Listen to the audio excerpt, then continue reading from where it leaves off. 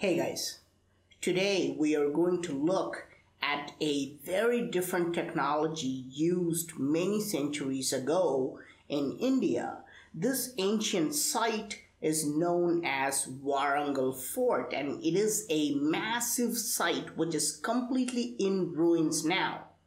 You can see that it does not look like a fort at all, but this place is called a fort because there are many levels of fortifications and defense systems around us, uh, but they have a much larger circumference, so we can't see them from here. Today, let's specifically look at how these rocks were cut. When you first enter the site, you are amazed at the thousands of rocks that are just strewn around like piles of garbage. When you examine these rocks closely, you are amazed because just see how complex each block is. How were these magnificent structures created? Archaeologists and historians are adamant and claim that all these structures were built using nothing more than primitive tools and hard labor. Is this true? Or did ancient builders use advanced technology and high-tech machines to accomplish this feat? Let's take a look at these stone artifacts. They have a strange lattice work done on them and are called as jali in India. Each jali stone has many holes and looks like a ventilator or a window, but these are not straight slots or round holes. Each hole has many corners. But this is not the real problem. It is quite possible to carve a hole with many corners using simple tools. The problem is, all these multi-cornered holes are perfectly identical to one another. Experts are shocked at how precisely identical these dimensions are. They are perfect down to the millimeter.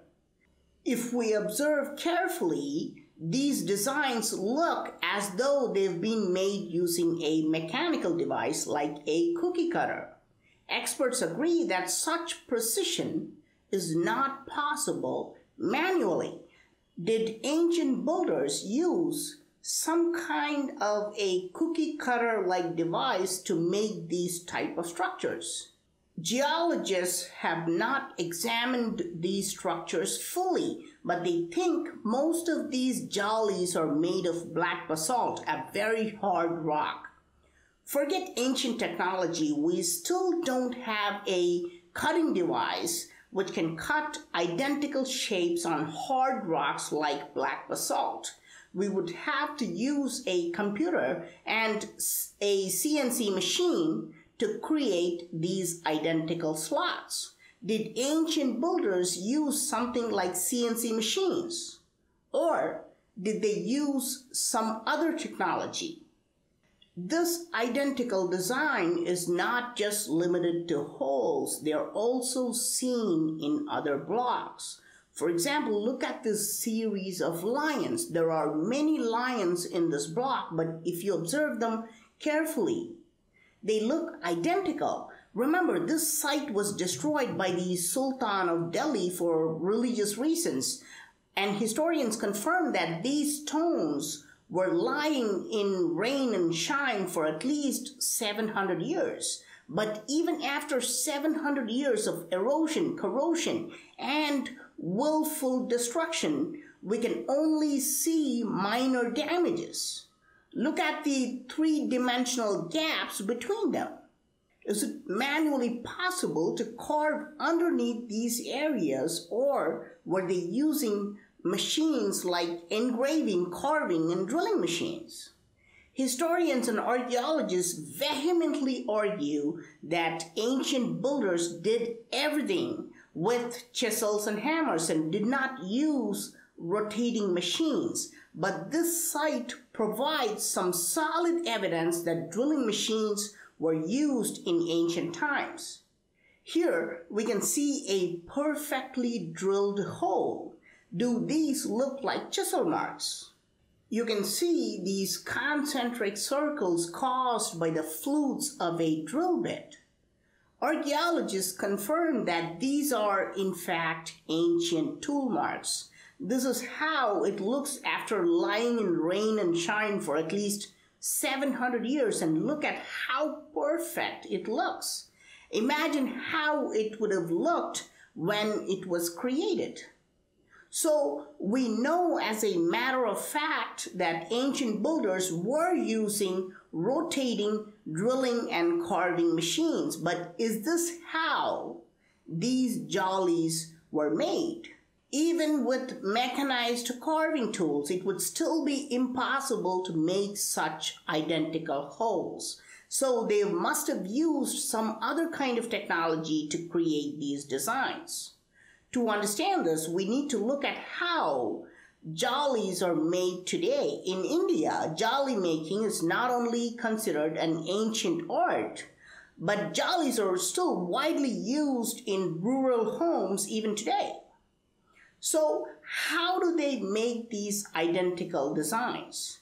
The answer is quite simple. They don't use hard substances like rocks, they use soft substances like clay or liquid cement and then cast them into identical pieces. For example, we can pour concrete or put wet cement into a cast and after it solidifies, it looks and feels as hard as a rock. Surprisingly, the jali makers of India, whose families have been working in this field for many centuries, tell us that this is exactly the same process they've been doing for many centuries. Today they're using concrete, but in ancient times they used some other powders or liquid material to create ancient jalis. Are these jalis in Warangal Fort really made of black basalt or are they made of some other materials which merely look like black basalt? Today we use something called geopolymers and we use them to build various structures. The geopolymers are soft, powdery, and or even liquids and are made of the same material as rocks and can be cast into any desired size or complex designs. Once they solidify and harden, it will be impossible to tell the difference between geopolymers and regular rocks unless you take a sample and examine its components. Some experts have claimed this is how the Pyramid of Giza was built. According to them, these huge stone blocks are not stone blocks at all. They are geopolymer blocks. If we visit any factory which creates geopolymer blocks using casting, we can see large tanks being used for pouring, storing, and periodic usage of geopolymer liquid. Now, is this why Warangal Fort has these gigantic tanks? Perhaps these ancient tanks were also used to store and process geopolymer liquid were ancient builders in India using the same technology of pouring geopolymers and casting them into desired shapes. To understand this, we need to go to one of the oldest temples in India. This temple, called the Kailasanathar temple, is at least 1300 years old. Some historians believe that this South Indian temple served as a model of the famous Kailasa temple in Ellora caves. While the Kailasa temple in the north is known for its extraordinary rock cutting technology, this temple in the south is famous for something very mysterious.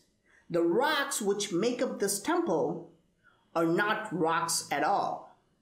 According to locals in this town and the priest of this temple, these are geopolymer blocks. Listen to what the priest says. Entirely different to the other temple. This is not the available stone. Man-made stone. Olden days people brilliant, they make. Nowadays our knowledge is zero, nobody knows the combination. That is the drawback, not possible to maintain, not possible to repair. So you can see how a priest who has never heard of geopolymer technology is explaining about man-made stones. And he also points out that we have no idea what these geopolymers are made of. These walls and statues in this temple show some strange details. They don't show the properties of normal rocks. Archaeologists insist that these are made of sandstone. However, many of these statues and walls have become flaky and are slowly peeling off. This is not how sandstone behaves. And we can see something much more startling. We can see bricks laid inside these statues and then covered with rock-like coating. This is definitely a sign of geopolymers because if these blocks are made of solid sandstone, it would be impossible to place bricks inside. So ancient builders were definitely using geopolymers as liquids or powders and then casting them into desired shapes. But what's really fascinating is the number of attempts by the archaeology department to renovate this temple. The temple was in very good condition until 1910 when the archaeology department, which was then under British control, decided to apply plaster on the walls and carvings in the name of preservation. However, immediately after the application of plaster, the structure began disintegrating rapidly. The components of the geopolymer must have had a chemical reaction with the plaster, so the temple walls started peeling off. The archaeology department has tried unsuccessfully for at least five times in the last century to somehow maintain the temple. But after the initial reaction in 1910, the temple never came back to its original state. It is actually declining every year. So I think there's no doubt that ancient builders were using geopolymer technology, which is beyond our understanding. And I think Kailasanathar temple and Warangal fort structures clearly prove this beyond any doubt. But the structures in Warangal fort have not disintegrated because they have not been tampered with artificial chemicals. And Warangal fort area has some fascinating evidence like the floating rocks. Remember, I have already shown you in a previous video how ancient builders were creating floating rocks. This is not a naturally occurring rock. These rocks were in fact molded and cast artificially. Today we use the same technology and call them autoclaved aerated concrete or AAC blocks. So geopolymer technology was definitely available in ancient times. However, we cannot confirm if these artifacts were cast using geopolymers unless we examine a sample in a lab. So what do you think? Did ancient builders in India use geopolymers or were these carved on solid stone using simple tools? Please let me know your thoughts in the comment section. I am Praveen Mohan. Thanks a lot for watching. Don't forget to subscribe and also click on the bell button to get all the updates. Please give this video a thumbs up and do share it with your friends. And I will talk to you soon. Bye.